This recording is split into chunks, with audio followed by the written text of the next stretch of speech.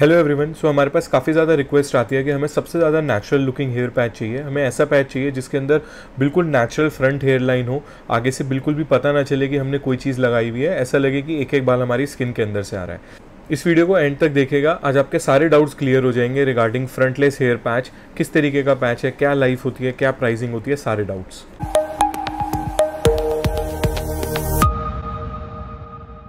मैंने पहले भी इस बारे में वीडियो बनाई है कि हमारे पास तीन तरीके के हेयर पैच होते हैं monofilament lace and skin base अगर आप वो वीडियो देखना चाहते हैं तो डिस्क्रिप्शन के अंदर आपको लिंक मिल जाएगी। उस वीडियो के अंदर मैंने हर तरीके के पैच के बारे में इन्फॉर्मेशन प्रोवाइड कराई है।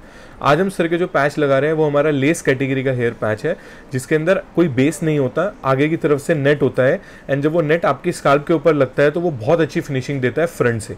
लेस पैच के अंदर हमारे पास दो तीन कैटेगरीज आती हैं। एक पैच होता है जिसके सिर्फ़ फ्रंट से लेस होता है, एक पैच होता है जिसमें पूरे पैच के अंदर ही सिर्फ़ लेस होता है, उसमें कोई बेस नहीं होता। आज हम सर के जो पैच लगा रहे हैं, वो हम फुल लेस कैटेगरी का हेयर पैच लगा रहे हैं, जो हमारा सबसे प्रीमियम कैटेगरी में आता है। इस पैच के अंदर कोई बेस नहीं होता। ये आपके हेड के अकॉर्डिंगली जितना एरिया आपका खाली होता है, उतने एरिया के अकॉर्डिंगली हेयर पैच को हम पेस्ट करते हैं।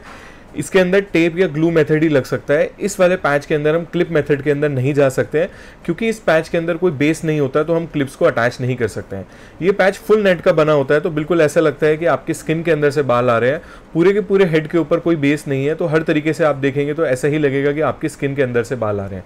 इस तरीके के जो पैच होते हैं जनरली इनकी लाइफ कम होती है, क्योंकि इनके अंदर कोई बेस नहीं है और सिर्फ़ ये नेट के ऊपर बने होते हैं। प्लस इस तरीके के पैचेज में डेंसिटी बहुत लो होती है। डेंसिटी आप अपने अकॉर्डिंगली कस्टमाइज भी करा सकते हैं। अगर आप इस तरीके के पैच में बहुत ही लो डेंसिटी चाहते हैं तो वो भी मिल जाएगा। थोड़ा हाई या मीडियम डेंसिटी चाहते हैं तो वो भी पॉसिबल होता है।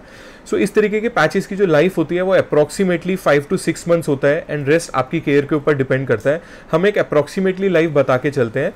बाकी क्लाइंट किस तरीके से केयर करता है उसके अकॉर्डिंगली होता है। जैसे अब आप देख सकते हैं, सर के हमने सिर्फ़ और सिर्फ़ टेप का यूज़ करा है। ट्रांसपेरेंट टेप लगता है इस पैच के अंदर, जिससे जब आपके स्कैल्प के ऊपर लगे तो ऐसे लगे कि आपके स्कैल्प के अंदर से ही हेयर पैच आ रहा है।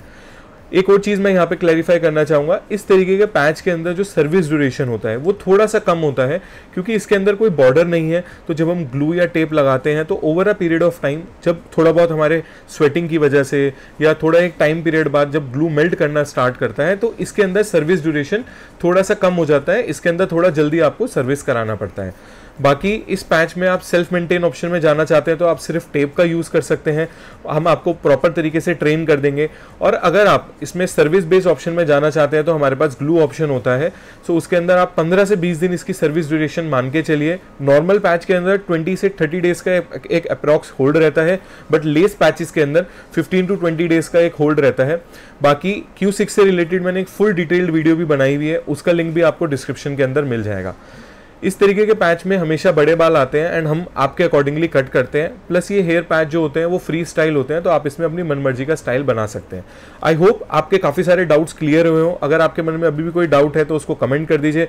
अगर आपको वीडियो अच्छी लगे तो वीडियो को लाइक कर दीजिए एंड चैनल को सब्सक्राइब